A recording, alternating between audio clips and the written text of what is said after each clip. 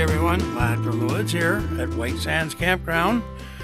Tuesday, first full day here. Uh, been in a, kind of an eventful day. Uh, I went to go take the ATV off the back of the pickup truck and the pickup truck or the bike fell off the pickup truck and landed on its left handlebar side, which of course promptly bent it and also smashed my little windshield. I'm not a happy camper, but I mean, what are you going to do?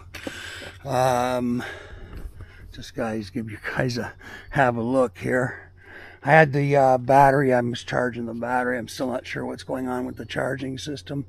But yeah, I messed her up pretty good. She just rolled right up. I couldn't stop it. Uh, and she tipped and went right over on her side off the back of the truck.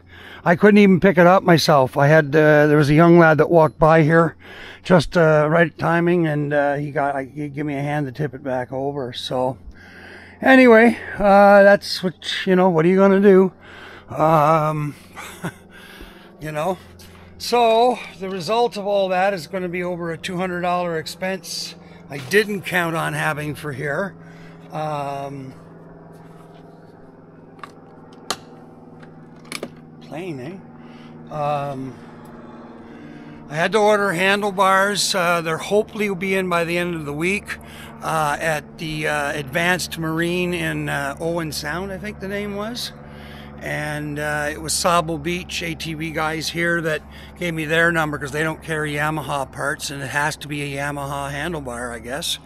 So, anyways, um, but they said they would put it like change it over for me. It's about an hour's work, and I don't have any tools for all that. So, um, so by the time the handlebars are finished, then I got to buy two hand grips because these ones here are my heated grips, but they glue them on so you can't take them off. So you know, you try to take them off, you're just going to tear them. So I had to buy two new hand grips. So uh, um, uh, they were twenty dollars each. So it's forty bucks, eighty bucks. There's 120, 110 for the hours labor at the the ATV cycle. So there you go. So what did I just say? 110. Uh, no, 120 and 110. So what is that? That's 230. 230 bucks. With tax, 250. So, you know, anyways, like I said, you just can't be pissed. What are you going to do? I mean, you know, I could sit here and scream, oh, or this, or whine and bitch moan out about it, you know, and the trip, uh, you know, the trip was over, you know. So, what I, like I said, I, I went into town and that's why I went and talked to the boys at the uh, ATV shop and they got me all hooked up with this other place in Owen Sound. So, and they're going to fix the bike up. So, you know what? It's not that big a deal. I can concentrate on fishing you know, for the next little bit, which is just as one half dozen of the other kind of deal, right? So, anyway, uh, um, how many minutes? I'm just trying to keep the minutes low because the uploads are slow. just firing up a coffee here. Um, so I'll have the bike back maybe the end of this week uh, if things come in early or something. If they don't, well then the beginning of next week. So that's fine. So um, you know that uh, I, the weather doesn't look good for the weekend anyway. Like Friday, Saturday, it looks like it's going to be one of these all-day rain day kind of deals.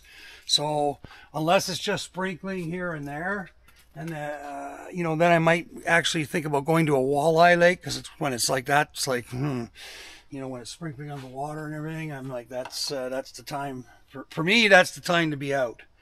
So. Um, catch good good size ones. But I was saying before, I'm not really here for walleye fishing. I'm here for trout fishing, but I don't want to go sit on Georgian Bay, you know, with rainstorms and stuff because it could change like instant. Oh, mosquitoes are starting up. Um, it could change instantly, right? And I don't. Uh, I haven't been back, you know, with the repairs to the boat and everything. I haven't been running it long enough to feel really confident that, you know, I can get back to shore before we start seeing, you know, three, four foot swells. Like, and they can come up real fast with the storms in the Great Lakes and Georgian Bay. So essentially, Georgian Bay is another Great Lake. It's almost as big as Lake Ontario, I think, if I remember my my things right, eh? So, anyhow.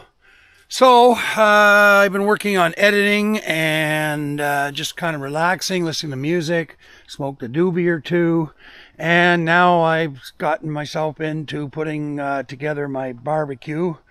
Portable barbecue. I've been wanting to buy one of these for a while.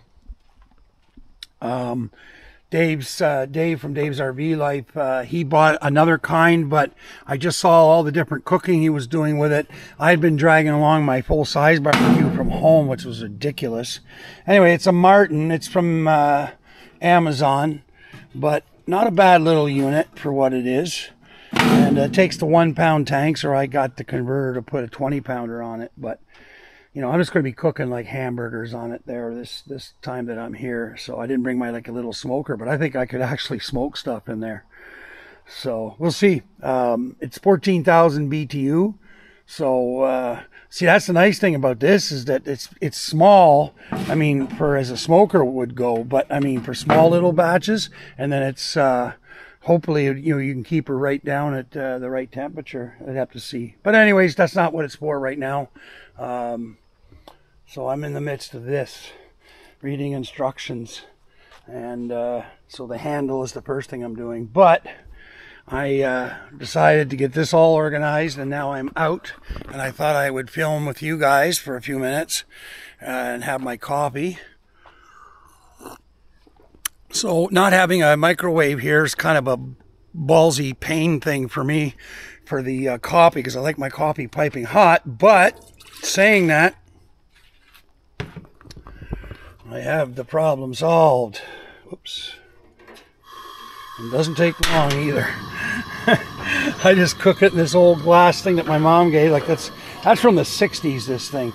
We had that. I remember when we were little kids. My mom had that thing making her uh, her eight o'clock coffee is what it used to be called. We used to get it at a place called A&P grocery store. So, boy, I'd give I'd give I wouldn't give money, but I would be like, wow, it'd sure be nice to have grocery stores like that again.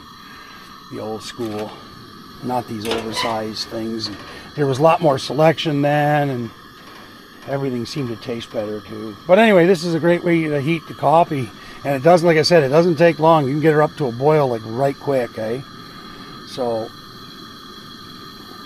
it's actually faster than the microwave, if you can believe it. See how the smoke, uh, it's already, it's already bubbling.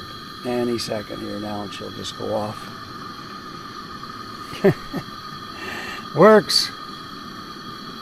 I didn't bother bringing my 20 pound tank for all that I use this. And then the other thing, I got two one pound tanks. This one here is over three quarters full. I used it. I can't remember when. That's good enough. I'm not going to bring it up to a boil right now. You can hear it. Look at that. So Anyway, uh, I'm going to, uh, I think I'm going to put this one up right away just to kind of jump around and keep up to date because I'm like, you know, I got all these road videos, but it's slow going here uploading. It's not as fast as I thought it was going to be, but I'm working with it and I'm changing the video lengths and the sizes. So, okay, everyone. So thanks for coming. Uh, you can check out the other videos too. Uh, um, you know, the portrait kind there. I have them on TikTok and on, uh, um, oh, they will be on Twitter. I haven't uploaded today on Twitter, but it's already on Instagram and Facebook and all that. So whatever one you pick, or just stay with YouTube.